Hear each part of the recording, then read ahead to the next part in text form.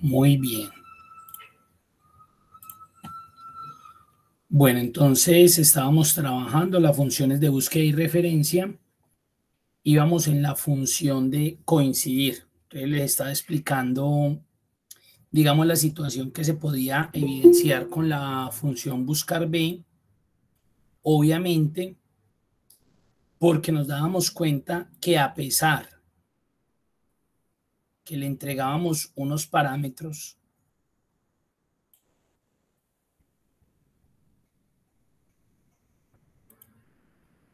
que a pesar que le entregábamos los parámetros a la función, de igual forma no éramos capaces de resolver. ¿Y esto a qué se debe? Al indicador de columna de la función. Entonces, si la volvemos a hacer, valor buscado del producto, la matriz, el indicador de columna, pues habíamos dicho que era el mes, el rango cero o falso, para que nos trajera una coincidencia exacta. Entonces, ¿qué pasa ahí? Eh, si yo vengo y escojo el producto y vengo y selecciono el mes,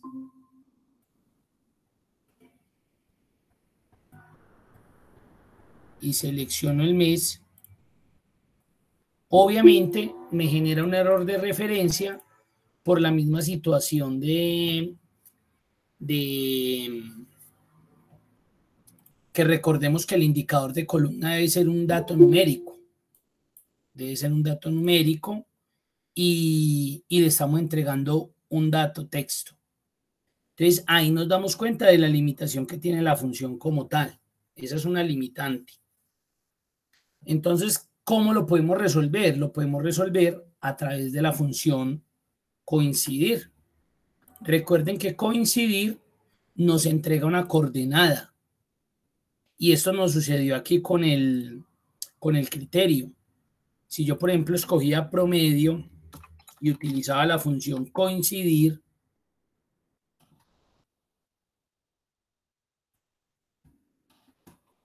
miren lo que me devolvía.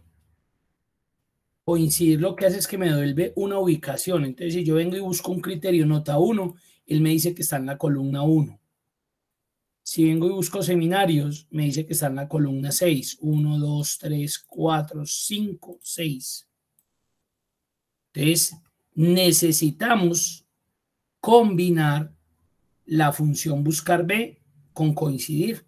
¿Para qué? Para que coincidir vaya y me busque este mes y me indique en qué columna está.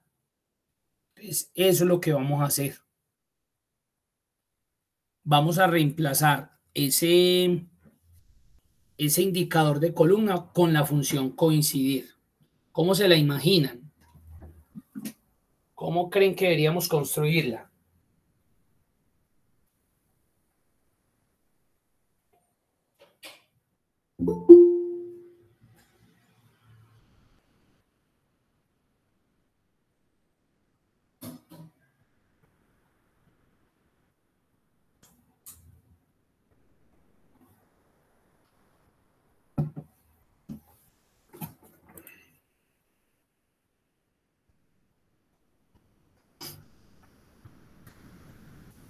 Giovanni, no sé si me escuche, Giovanni López. Giovanni, la, el grupo de ustedes empieza a las ocho y cuarto, pero pues si quiere estar no hay ningún problema.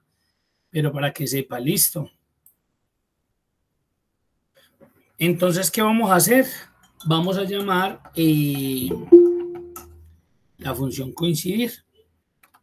Entonces la vamos a reemplazar en el indicador de columna. Le llamo a coincidir. Miren lo que estoy haciendo. Estoy incluyendo dentro del buscar B estoy llamando a la función coincidir. Entonces, ¿cuál va a ser el valor buscado? Ahora vamos un poquitico más acá para que la podamos cargar desde acá. Entonces, en vez de indicador de columna, coloco la función coincidir. ¿Y qué le digo? Vaya y búsqueme este mes. ¿En dónde me lo va a buscar? En todos estos encabezados.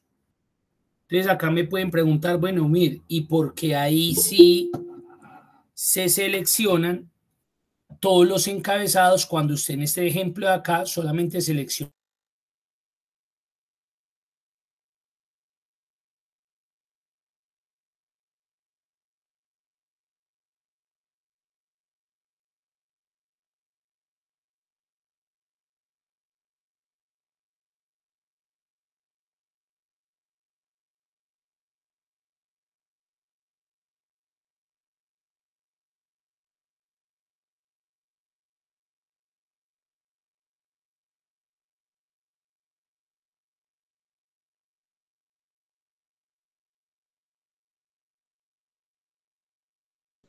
Profe Humir, no se le oye. Ya, ya. Gracias ahí por la indicación. Bueno, les estaba diciendo, eh, ¿por qué en el coincidir seleccionamos la matriz? Esta matriz, toda desde acá, cuando en el primer ejemplo yo les mostraba que seleccionaba desde nota 1, nota 2, nota 3, etcétera. Porque recuerden que como estamos utilizando buscar B y en el buscar B establecimos toda esta matriz desde la columna de productos, Recuerden que en ese indicador de columnas vamos a decir, ah, es que febrero está en la columna 1, 2, 3. Por esa razón tengo que contar eh, el encabezado de productos. Porque si yo lo contara desde el mes, entonces me devolvería que febrero está en la columna 2. Entonces me volvería a suceder lo que la semana pasada nos sucedió, que nos devolvió un valor eh, erróneo.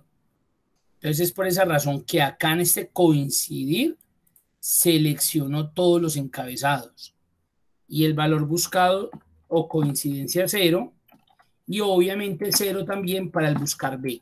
Entonces miren, recuerden, ojo, estoy en el indicador de columna del buscar B, estoy colocando la función coincidir. Así de simple. Vamos a ver. Producto 2 febrero, 8 euros. Correcto. Vamos a buscar este, vamos a buscar este y buscamos este. Con eso ya es suficiente, pero de igual forma ya sabemos que está bien. Producto 6, marzo, nos debe dar 47. Correcto. Producto 10, enero.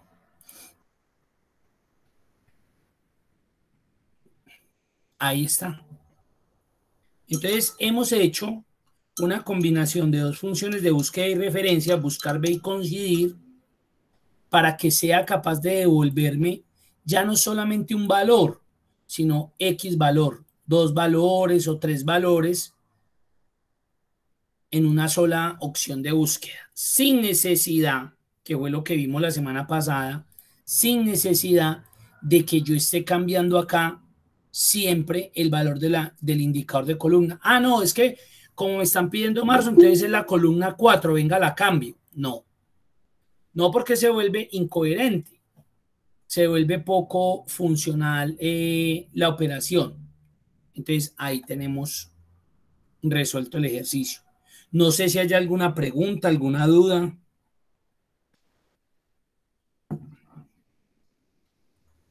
Eh, profe, buenos días. Buenos días, Edwin.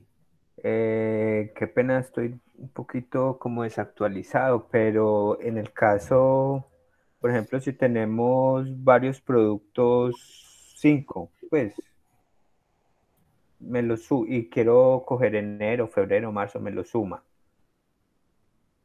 ¿Cómo así? ¿Cómo así? Vuélveme a, dar una pues, indicación. Por ejemplo, en la columna C tengo tengo varios productos 1, o sea, no solamente producto 1, 129, 135, sino que tengo producto 1, otra vez producto 1, me lo repite pues. Sí. Porque, por ejemplo, podemos tener una, una columna anterior a productos que sea fecha. Entonces, el, fecha, y compra. Sí, eso. Entonces, en, el, el 30 vamos a tener producto 1 y por allá el 2 vamos a tener otra vez producto 1, ¿sí me entiende? Entonces, para, que me, para que me sume todos esos productos unos para febrero. Bueno, ahí eh, sigue la siguiente autosuficiencia o, o más bien debilidad, más bien debilidad de la función buscar B. Ella siempre va a buscar el primer valor que encuentre en forma ascendente. Entonces, ese ejemplo que coloca Edwin está muy chévere, porque por ejemplo, vamos a hacerlo acá. Vamos a hacer, voy a cambiar este producto 1. Este producto 2 lo voy a volver a convertir en producto 1. Entonces ya se dan cuenta, voy a colocarlo acá en otro color para que lo identifique. Que tengo dos productos unos. Un ejemplo, y es verdad.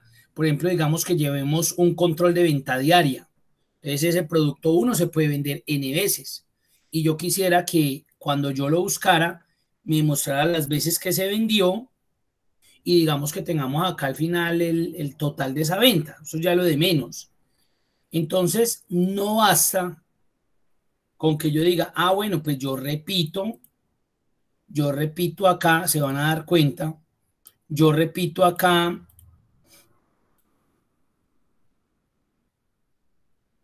yo repito acá el mes y la función, porque pues obviamente esta función sería la misma de aquí.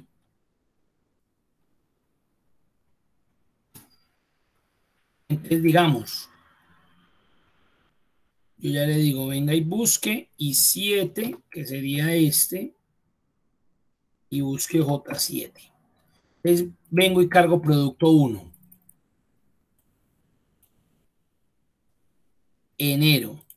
Entonces, muy bien, 129. Se supone que si selecciono acá el otro producto 1, mire que en la lista pues me aparecería también así.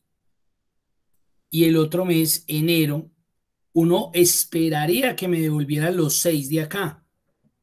Y mire que si me sigue devolviendo los 129.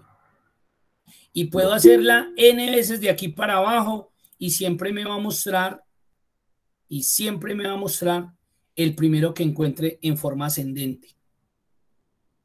Entonces ahí es donde viene otra debilidad o como les digo, ¿sí? Eh, de buscar B. Siempre va a buscar el primer valor que encuentre de forma ascendente. Y como este fue el primero, este siempre es el que me va a mostrar, mire. Así, vuelvo y le repito, así yo lo repito aquí 10 veces para abajo. Siempre me va a mostrar este de acá. Entonces ahí es donde uno dice, bueno, ¿y entonces qué hago en esos casos? Entonces ahí primero la invitación a que hagamos el avanzado. Ahí doy una explicación, pero esos ya son, digamos, como trucos, no, esos son como tips, como para, para incrementar.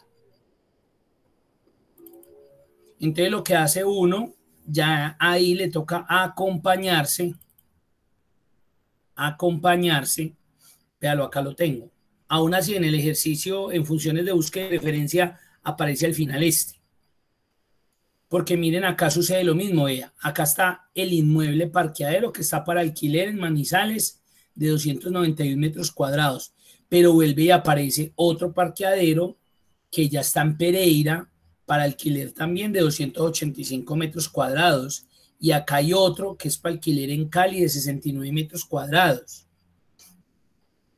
¿Sí ve? Y puede aparecer n veces ese mismo elemento. Entonces yo lo que necesito es que con buscar B, apenas yo lo busque, pues me muestre las diferentes valores, opciones, una vez se repita ese, ese mismo elemento. Lo que pasa es que esto sí necesita, mire, de otros elementos adicionales, porque con buscar B solo no se puede resolver toca acompañar a buscar B de otros elementos. Es claro que esa situación se les puede dar. Ya saben que solamente con buscar B no van a ser capaces. Tocaría así, colocarle pues, adicionarle otros elementos. Eso sucedería, Edwin. Ok, profe, gracias. ¿Cuándo empezamos el otro curso? Ya, yo creo que la, el viernes que finalicemos les les doy como las indicaciones a ver cómo vamos a manejarlo. ¿Listo? Ok. Bien pueda, por ahí levantando la manito, no sé si, no, bueno. Entonces, acá sigue el ejercicio. ¿Cuál es la idea de este base ejercicio? Que ustedes cacharreen a ver si son y pueden resolver. Eh, miren acá. Acá la idea de, de resolver este ejercicio es poder traer esta información de acuerdo a estas cédulas que están acá. Si nosotros nos devenimos a la base donde está toda la información, mire que no están acomodaditas por, por orden. Mire, por ejemplo, ciudad donde está, estaría en la columna 3. Entonces, vuelvo y le repito, si yo soluciono esto con buscar B, mire lo que tendría que estar haciendo. Yo colocaría buscar B, cuidado, que eso es lo que uno debe evitar. Yo sé que muchos lo hacen así por facilidad, pero lo que debemos evitar. Valor buscado. Matriz. Entonces, miren lo que tienen que hacer. Tienen que volver para acá para la matriz.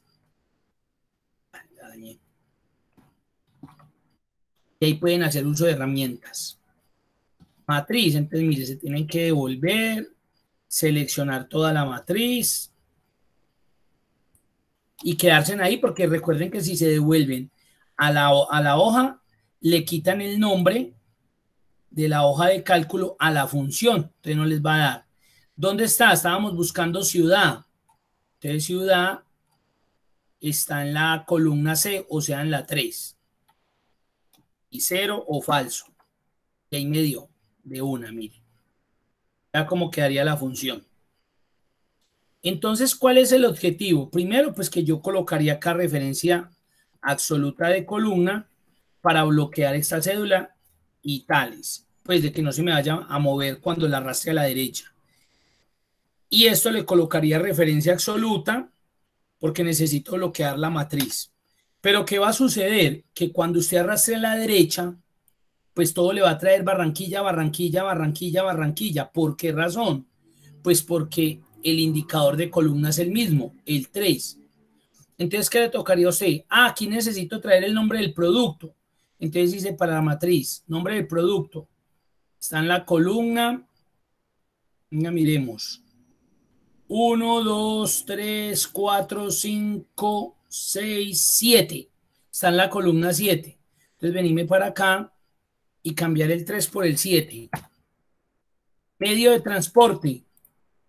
1, 2, 3, 4, 5. Hasta en la 5. Entonces miren que ustedes de una, de entrada, ustedes ya están diciendo, no, pues de hacerlo se puede, pues no hay problema, pero yo creo que no es la forma correcta. Además, acá son poquitas columnas, son 10 creo que son, pero digamos que ustedes tengan una matriz que tenga 30, 40 columnas, entonces imagínense ustedes en cada columna yendo a hacerle el cambio del indicador de columna. No, ustedes tienen que hacer autosuficiente esa función de tal manera que con una que hagan acá resuelvan todo este ejercicio y no se tengan que poner a cambiar el indicador de columna para decir que necesita el precio unitario. Ah, bueno, 1, 2, 3, 4, 5, 6, 7, 8, 9. Hasta la columna 9. Y tenga que venir a cambiar esto manualmente. No. ¿Sí me entienden? Uno no puede llegar a eso. No, es que a mí no me quita nada de eso y yo no me demoro. Eso es lo que a veces generalmente dicen. Entonces uno les dice, bueno, si eso no le quita tanto tiempo, porque más bien usted no hace una función operativa que ella automáticamente le identifique el indicador de columna y que usted no lo tenga que cambiar manualmente, porque la idea es no involucrarse con la función. La idea no es estar haciendo esto que estamos haciendo aquí, ni ingresar a la función para cambiar el valor, en este caso el indicador de columna. Vuelvo y repito, eso no es nada, pero eso no es el trabajo o el funcionamiento correcto que se le debe dar a una función cuando estoy trabajando en Excel. Entonces aquí, ¿qué hay que hacer? Montar en vez del indicador de columna un número, montar el coincidir. ¿Para qué? Para que él vaya y busque en estas columnas cuál es esa columna y saque el valor de esa columna y automáticamente me lo coloque acá, me lo reemplace. ¿Pero con quién? Con coincidir, lo mismo que hicimos acá. Mire que aquí en esta hicimos exactamente lo mismo. Con este coincidir, lo que hizo fue que nos buscó el número de la columna del mes y de una quedó automatizada ya. Entonces a mí ya no me interesa si me cambian acá el mes él ya sabe qué columna es y me devuelve ese valor. Si es claro o alguna pregunta.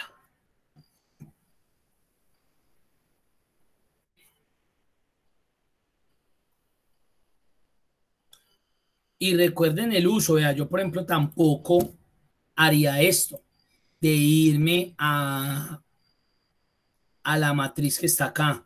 Yo no haría eso. Yo no estoy diciendo que esté mal, pero eso es enredarme. Yo lo primero que hubiera hecho es que hubiera seleccionado toda esta matriz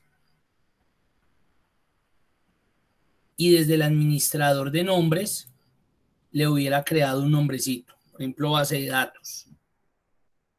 Y de una vez hubiera creado el de los encabezados, porque se lo necesito. El de los encabezados los necesito porque con ese es que hago el coincidir. Entonces, ¿qué ventaja le va a dar a usted?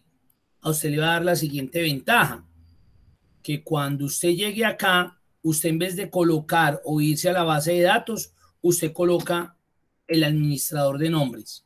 Listo. Y acá en vez de un número, va a llamar la función coincidir. ¿Qué le va a buscar ella? Este encabezado, ojo, este encabezado. Este lo bloqueo con referencia absoluta de fila. ¿Dónde se lo va a buscar? En encabezados. Él va a ir a buscar en encabezados dónde está ese encabezado ciudad. ¿Y con qué va el eh, método de búsqueda? Con, con cero. Y termino aquí el cero falso de la buscar B. Mire que estoy haciendo exactamente lo mismo. Estoy haciendo exactamente lo mismo que en el ejercicio del mes y el producto. Mírenlo.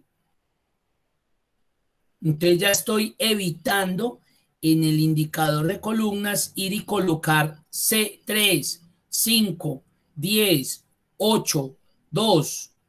¿Por qué? Porque el coincide está haciendo eso, él automáticamente está buscando este encabezado y va y lo busca en la matriz, que yo la llamé así por a través del, del, del administrador de nombres, lo llamé encabezados, va y búsquelo y devuélvame ese número, esa posición de una vea. Y entonces, si yo arrastrar esto hacia la derecha, esto ya va a funcionar de una, mire.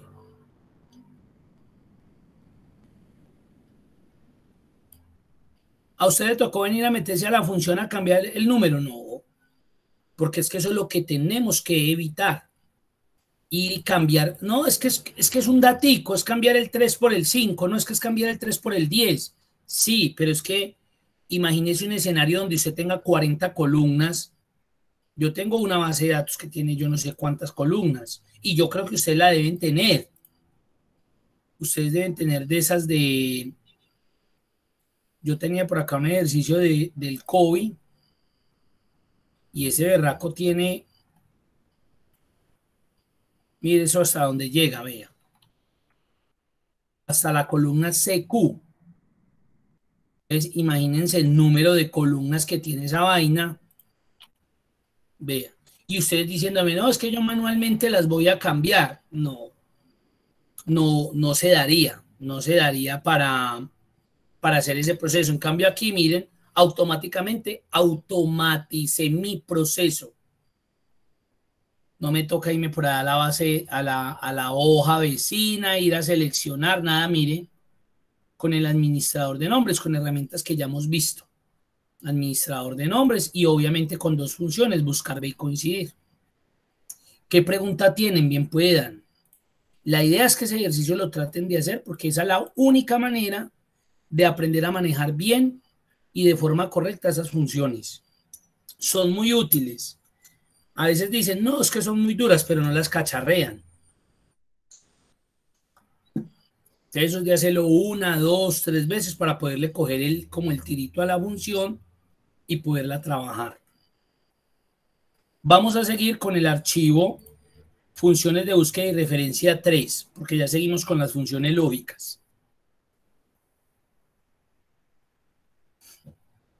Ahí está. Entonces, miren que cuando abro este archivo es muy idéntico a este inicialmente. Porque aquí lo que pretendemos o lo que, queremos es ver adicional a la función coincidir la función índice para que se den cuenta lo poderosa que es. Entonces acá lo mismo. Vamos a volver a, a traer la función coincidir para que nos busque el estudiante. ¿En dónde lo busque? En esta matriz y acá el criterio con coincidir. No lo busque acá. Listo. Eso ya lo sabemos. Nos entrega unas coordenadas, una posición de un elemento o en una fila o en un grupo o en una columna.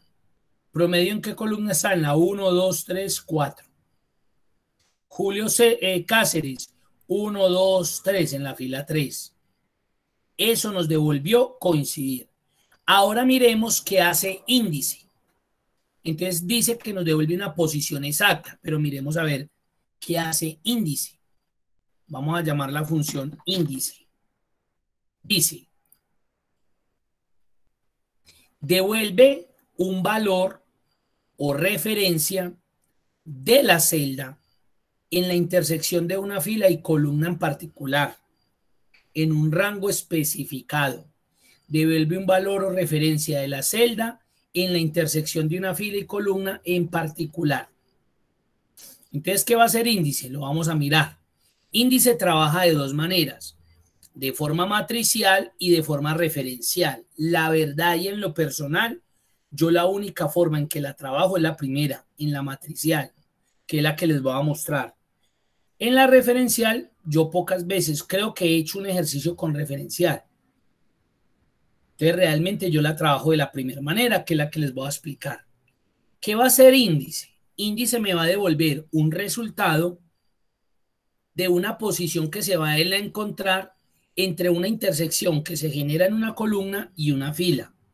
En términos paisa, ¿qué es lo que él me va a devolver? Si nosotros nos vamos a este cuadro, lo que se genere entre esta fila y un ejemplo y esta columna. Esa intersección es el valor que él nos va a devolver. Entonces miren qué índice nos va a poder devolver la nota o el promedio o las faltas o la nota del seminario que alguno de estos estudiantes sacó. Pero para que ella funcione necesita la posición de la fila y necesita la posición de la columna. Cuando él tiene esos dos elementos, recuerden que va a generar una intersección. Mírelo acá. Esta sería la fila y esta sería la columna, la intersección que se genera ahí, entonces sería en este caso 10. ¿Por qué? Porque fue lo que sacó José Almanares en promedio. Esta A fue la fila que se intersectó entre Pedro Noriega y la columna de faltas, 11 faltas. Y así sucesivamente. Entonces, índice lo que hace es eso, traerme una posición exacta de una intersección que se genera entre una posición de una fila y una columna. Entonces, ¿qué es lo que queremos traer? Por ejemplo, aquí, el promedio de Julio Cáceres. Julio Cáceres, esta sería la fila, y el promedio. ¿Qué se generó en esa intersección? 12. El promedio de Julio Cáceres fue de 12. Ahí está. Entonces, índice lo que me va a devolver es eso. Entonces, pónganle cuidado. Índice. Entonces él me pide la matriz. Miren acá lo diferente con buscar B. Miren lo que es la matriz. Serían las notas y los datos, no más. Mire que aquí yo ya no selecciono ni los valores de los estudiantes ni los criterios. Solamente los valores. Esa es la matriz para índice. Ahora, ¿qué más me pide índice? El número de fila. El número de fila, mire lo que lo tengo acá. Y me pide el número de columna. Mire que lo tengo acá. Cierro. Enter. Y ahí me devolvió. Él me dice que Julio Cáceres en promedio sacó 12. Muy bien. Busquemos otro. Pedro Noriega en seminarios dice que dos. Pedro Noriega en seminarios. Pedro Noriega en seminarios. Correcto. Dos. Es que nos está devolviendo ese valor que se genera entre esa fila y esa columna. Si es claro o alguna pregunta.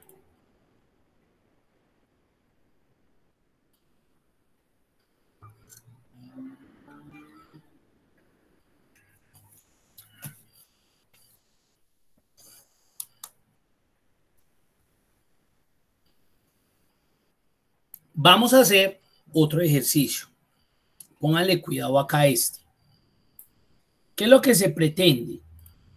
que cuando yo seleccione un código, pues obviamente me devuelva el nombre del estudiante. Por ejemplo, en este caso, escogí o seleccioné EST003. Me tiene que decir que es Julio Cáceres. Si escojo otro, EST006, me tiene que devolver que es Pedro Noriega. Entonces, uno podría pensar inmediatamente que esta función la podemos resolver con buscar B. Vamos a ver. Valor buscado, el código. La matriz, mírenlo ahí. El indicador de columna, el 1. Y el método falso o cero, porque es una coincidencia exacta. ¿Ustedes qué creen? ¿Que me va a dar o que no me va a dar? Mírenlo a ver. ¿Y por qué razón?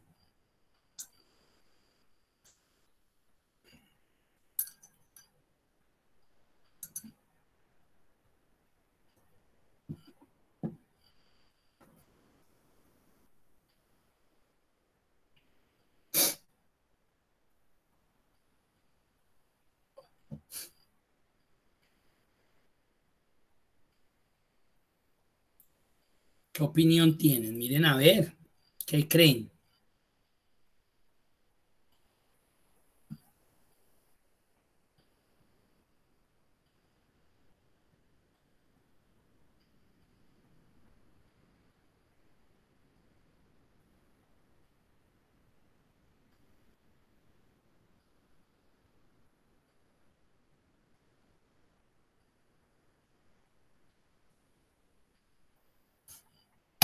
No me da. Mire que no me dio. Y la función está bien estructurada. Valor buscado, el código. La matriz, bien. El indicador de columna, el 1, porque pues necesito devolver el nombre del estudiante. Y 0 porque necesito que sea una coincidencia exacta, pero no me da. Si nosotros recordamos lo que dice la función buscar B, mire lo que dice la función buscar B busca un valor en la primera columna de la izquierda de una tabla. Está buscando este valor en la primera columna de la izquierda de esta tabla. Y mire que el código está en la segunda columna. Ya de una, de entrada, yo sé que eso no me va a dar. Siempre, ojo que ese es un error muy común siempre el valor buscado, si usted está trabajando con buscar B, en la matriz debe estar siempre de primero. Si está en una posición diferente en la matriz, no les va a dar, no les va a funcionar. Siempre, siempre ese valor buscado debe estar en la primera columna. Entonces, ¿qué solución me podría decir usted? Ah, muy sencillo. Yo llego y paso esta columna acá de segunda. Vuelvo y traigo la función buscar B. Valor buscado. Muy bien. Matriz. Pues como la corrí, voy a, a correr esta matriz. Listo. Ahí está. Indicador de columna ya no es el 1, sino el 2, porque necesito devolver el, el, nombre del estudiante. Entonces 2. Y eso funcionó. Porque el valor buscado en la matriz está en la primera columna. Ahí sí la función es capaz, mire. Ahí la función fue capaz. Si yo vengo y cambio de una, vea ya la matriz fue capaz, ya la matriz fue capaz de encontrar ese valor porque mi primer columna contiene el valor buscado. Entonces usted me diría, yo hago ese cambio y ya miren que sí lo hice y de una me funcionó, pero no todas las veces podemos hacer ese tipo de cambios. No todas las veces podemos estar cambiando las columnas de un lado para otro. ¿Y por qué no? Porque de pronto es un formato estándar. que usted lo trabaja así y luego ese formato lo sube a un software y no le puede cambiar los valores de las columnas porque genera error o porque de pronto usted abajo tiene más información, entonces al cambiar toda la columna daña la estructura del formato. Es que se pueden dar muchas situaciones y no se trata de cambiar por cambiar. Se trata de mirar entonces en qué momento debo utilizar otra función de búsqueda que haga eso sin que yo dañe el formato. Entonces aquí, ¿cuál vamos a utilizar? Índice y coincidir. Entonces miren lo sencillo que es. Llamo a la función índice. ¿Cuál es la matriz? Ah, pues la matriz es todo esto, mire. Son los valores. Mire que ahí ya no escogí encabezados. El número de fila, el número de fila lo tengo. No, porque el número de fila es el código del estudiante. ¿En qué fila está el código EST004? En la 1, 2, 3, 4. Ay, ¿quién es? Ah, es José Almanares. Entonces yo necesito un coincidir. Dentro de ese índice necesito un coincidir para que me devuelva la posición del código. ¿A quién está buscando coincidir? A este código. ¿En qué matriz? En esta de acá nomás, en los códigos. Entonces mire que yo puedo volver a reutilizar algo que ya había seleccionado. ¿Y cuál sería el número de columna. Haz la columna 1 porque es donde están los estudiantes. Ya. Cierro. Y miremos a ver si funciona. Busquemos otro. Busquemos otro. Le tocó invertir las posiciones de las columnas. No. ¿Por qué? Porque usted ya no trabajó con buscar B, sino que trabajó con la función índice y con la función coincidir, que le permitieron simplemente por ubicación una posición, encontrar un valor en una posición específica. Les vuelvo y repito, en el índice la matriz que era, era todo esto. En el número de fila que pide la función índice, llamé la función coincidir. ¿Por qué? Porque necesitaba que me dijera en qué fila está este código para que con ese dato me, me diga cuál es el, estudiante. Le llamé la función coincidir. ¿Quién era el valor buscado para el coincidir? El código del estudiante. ¿Dónde lo tenía que buscar? En los códigos, no más en los códigos. ¿Qué tipo de búsqueda? Pues cero, precisa. Y el número de columna del índice le dije que era la 1 porque es que el estudiante está en la columna 1, devuélvame apenas encuentre esa intersección de esa fila, búsqueme en la columna 1 el nombre de esa persona. Ahí está. Y me evité utilizar buscar B para no hacer esos cambios, porque ya nos dimos cuenta que con buscar B no puedo solucionar ese ejercicio. Dudas, preguntas. Yo sé que esto ya es un poco más complejo, claro que sí, pero créanme que la única manera de que ustedes le cojan el hilo es que empiecen a hacer por lo menos esos ejercicios. Y créanme que son de las funciones que más se utilizan porque ustedes ya están dando cuenta de la utilidad, como el beneficio. Ay, mira, yo tengo esta matriz y a veces me toca ir a buscar un, un usuario para que me devuelva una información y a veces ustedes lo pueden hacer con el filtro, pero a veces ustedes necesitan independizar esos resultados, que haya como un buscadorcito que le traiga una información específica. Entonces, usted con eso es una berraquera porque trae específicamente lo que necesite y ya. Y no tiene que ir a filtrar y luego volver a quitar el filtro, no, porque usted está cambiando aquí. Ay, señor usuario, dígame su, su código. Ah, el mío es el ST 001. Listo. Ah, usted es Carlos Vázquez, están, vive en tal, su dirección es esta. Sí. Ahí está. Y este ejercicio trae lo mismo, muy parecido, miren. Trae la misma información del ejercicio anterior, la base, mírenlo ahí, y el ejercicio para resolver, pero este trae un gran diferenciador. Recuerden que la cédula es el dato buscado. Y miren que la cédula ya no está acá en la primera columna,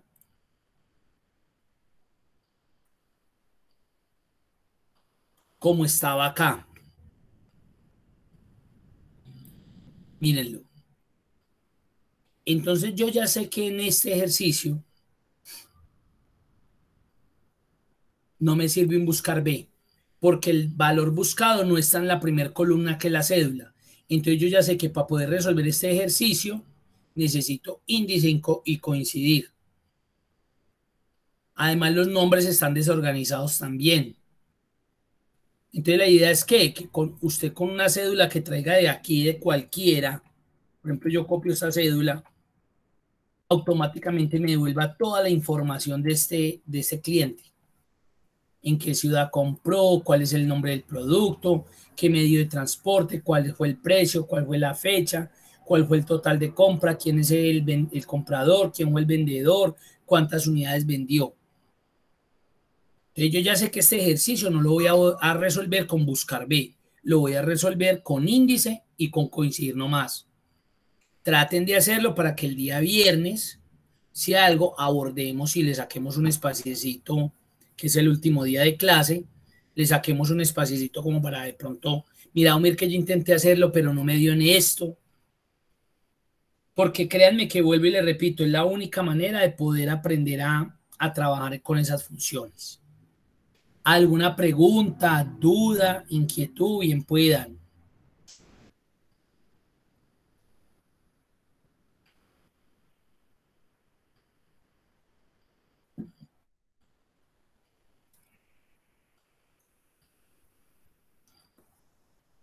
Bueno, ahí en la guía vamos a continuar con un tema que se conoce como las funciones lógicas. Entonces dicen que en Excel se utilizan para la toma de decisiones con base al resultado lógico. Recuerden que los, valores lógicos son verdadero o falso. Entonces, de una función. Y se decidirá si se ejecuta o no se ejecuta cierta acción requerida. Las funciones lógicas son las funciones que permiten hacer uso de valores lógicos o evaluar valores lógicos con diversas finalidades. Y aquí tenemos algunas de ellas. Entonces tenemos la función falso, la función no, la función o, la función sí, la función sí punto error, verdadero, la función y. Vamos a empezar viendo lo que tiene que ver con la función sí. Esta es otra función también bastante interesante, muy útil para ciertos procesos. Vamos a abrir el archivo funciones lógicas sí. Funciones lógicas sí.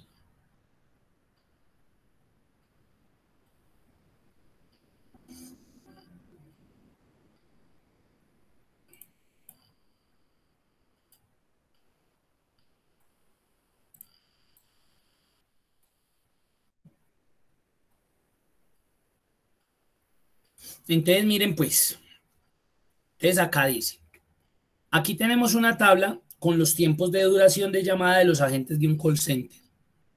La compañía tiene como objetivo que las llamadas no duren más de cinco minutos. Entonces, lo que queremos identificar es cuáles fueron las llamadas superiores a cinco minutos. Aquellas que sean superiores a este tiempo, debe tener en la columna de lado la palabra revisar los que están por debajo de 5 minutos que coloque OK. Entonces, si nosotros observamos el cuadrito, mire, acá está el objetivo 5 minutos y pues acá hicieron un análisis de las diferentes llamadas que hicieron unos agentes y se dieron cuenta pues de los tiempos que tomaron. El ejercicio es muy claro y me dice, vea, si el objetivo de la llamada se cumple, colóqueme la palabra OK. Pero si está por encima de los cinco minutos, colóqueme revisar. Porque hay que entrar, yo qué sé, yo no he trabajado en Consulter, pero yo me imagino pues que, que les dirán, bueno, ¿y por qué se tomó tanto tiempo? Además, eso es un call center, ¿cierto? Ellos, deben tener unas proporciones, unos promedios de, tiempo de, de, llamada en duración. Entonces acá, por ejemplo, está de 7, estaba llamando la mamá, o que este de 18 estaba llamando el novio este 21 estaban peleando con el marido, bueno, uno qué va a saber. Aunque pudo ser un cliente que estuvo ahí hablando, hablando, preguntando y bueno, pero ya justificarán.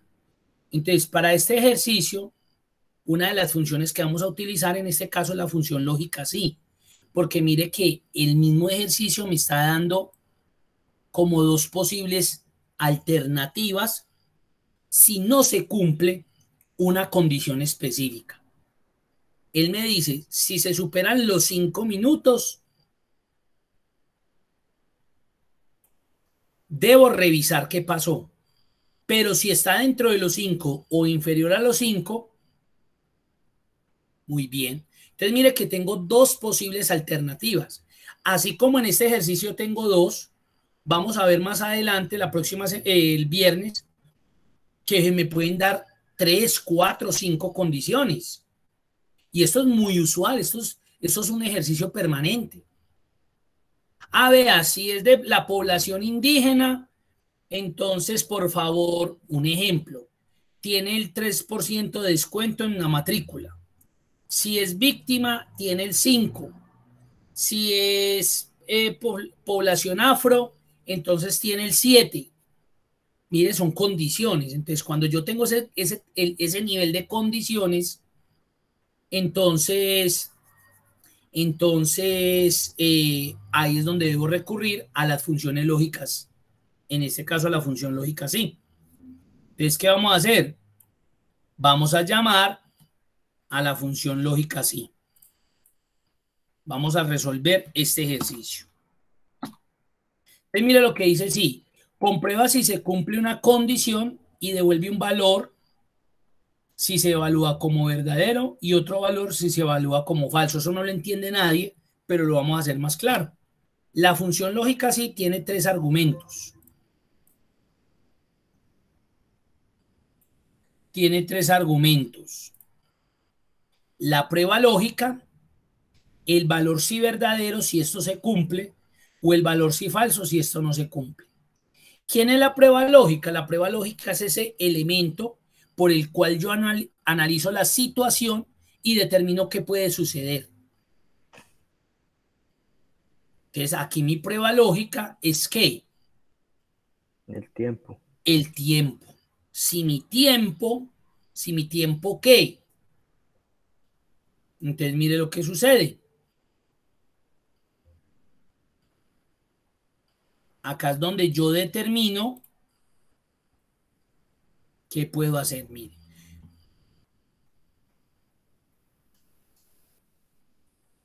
El, ejercicio me está diciendo si usted tiene menos 5 o menos de 5 minutos, súper. Pero si tiene más de 5 minutos, hay que revisar qué pasó. Entonces, mi prueba lógica es eso. Mi prueba lógica necesita de una comparación en las pruebas lógicas siempre hay que comparar una situación con otra. Yo no puedo decirle ahí prueba lógica si mi tiempo, si mi tiempo qué. Si yo la dejara ahí, ahí no me va a dar nada. Porque en la prueba lógica no tiene los datos suficientes para que él pueda analizar y tomar la decisión. Entonces, muy bien, si mi tiempo qué. Menor o igual a 5. Muy bien. Si es menor o igual, entonces lo, mírelo, acá lo tengo. A este de acá lo voy a amarrar de una vez. Muy bien, acá ya tengo la prueba lógica. Estoy comparando el tiempo que yo tuve de mi llamada con respecto a lo que me plantea la empresa. Si lo que yo tengo es menor o igual a este objetivo de acá, ¿qué significa valor si verdadero? ¿Qué va a suceder? ¿Bien o mal? Bien. Bien, entonces coloco, coloque la palabra ok. ¿Y qué pasa si no se cumple? Valor sí falso. O sea que esto no se cumplió. Revisar. Revisar. Muy bien. Esa sería toda mi función. En la prueba lógica estoy haciendo una comparación de lo que yo tengo con lo que me están colocando. Siempre en las pruebas lógicas tienen que haber estos operadores, o ese y este, o ese, o este, o este, o este. Miren, siempre debe haber una comparación. Entonces aquí lo que yo le dije fue, si mi tiempo es menor o igual a esto de acá, ¿y por qué lo amarré? Porque como yo necesito arrastrar de aquí para abajo, E2 siempre debe ser E2. D6 y me va a cambiar a D7 porque tiene que analizar cada tiempo de cada, eh, de cada operador, de cada gente. Vamos a arrastrar. Ahí está. Ay, Eumir, ¿y eso por qué se colocó rojo? ¿Por qué creen que se colocó de una vez rojo? ¿Qué se habría utilizado ahí para que colocaran rojo eso?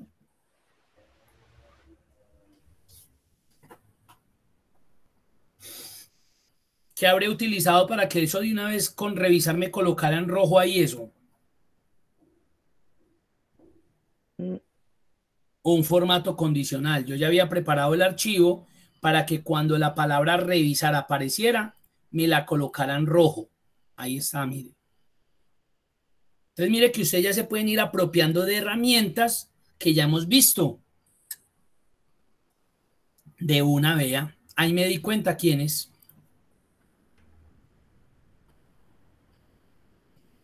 Ahí está. ¿Qué hizo eso? La función sí. Entonces vuelvo y miramos.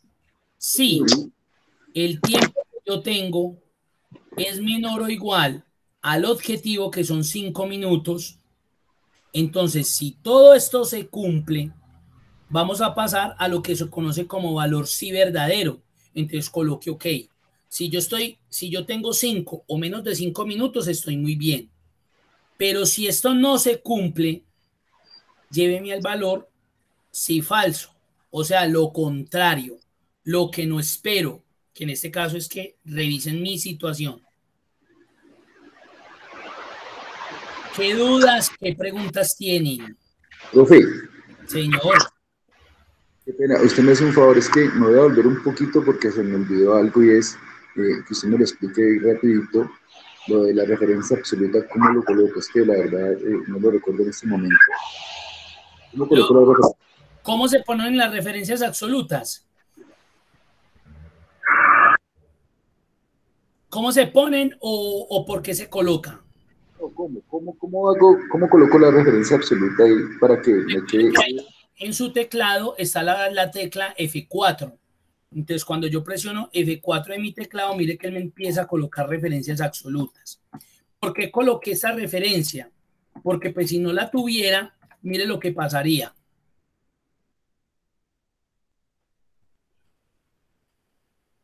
Si yo vengo y analizo acá, mire donde me está comparando N8.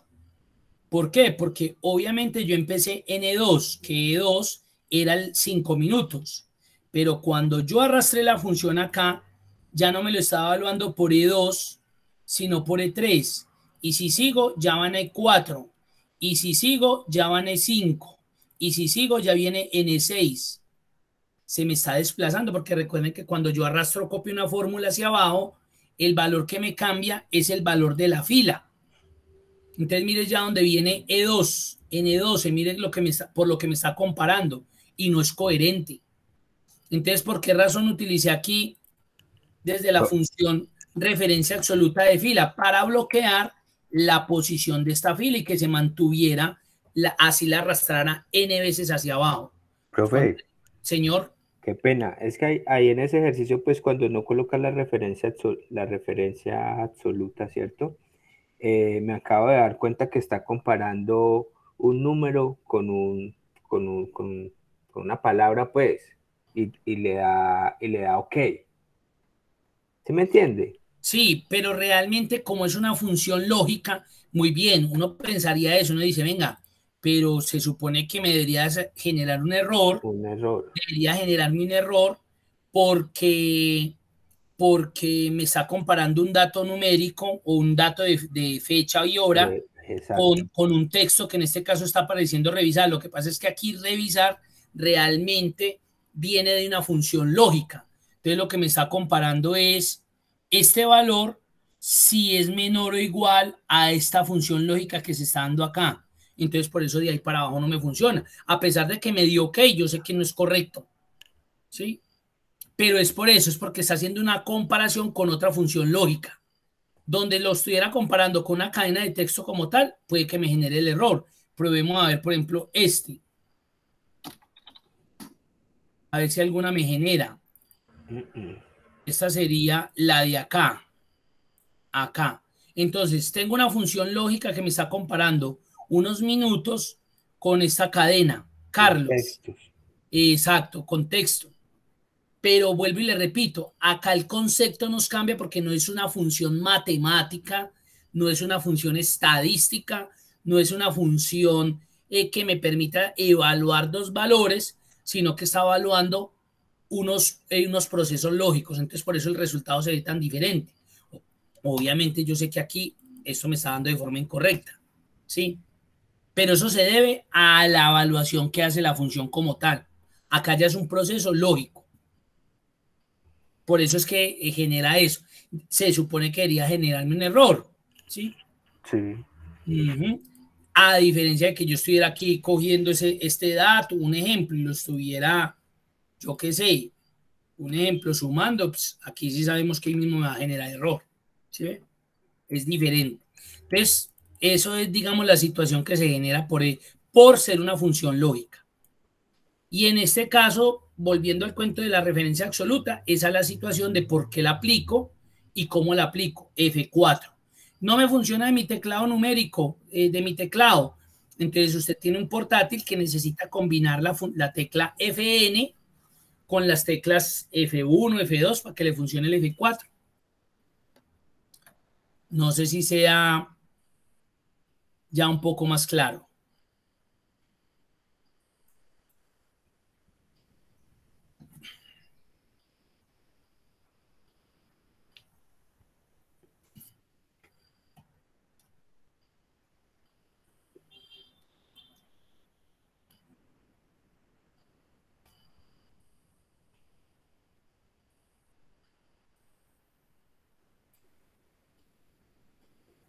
Bien, todo entonces, desde dentro de ocho, el próximo viernes, qué pena, eh, continuamos pues con las otras funcioncitas que nos hace falta, terminaríamos con la parte de tablas dinámicas y ahí finalizaríamos el curso.